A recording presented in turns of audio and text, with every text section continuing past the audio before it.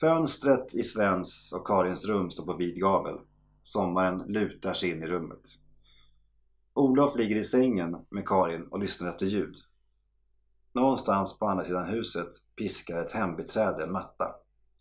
En svala som byggt bo i taknocken skrapar med klorna mot träet.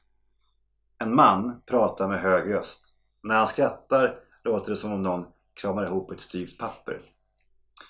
Och över allt annat ljudet av Svens skrivmaskin från stiftelsens bibliotek en våning upp.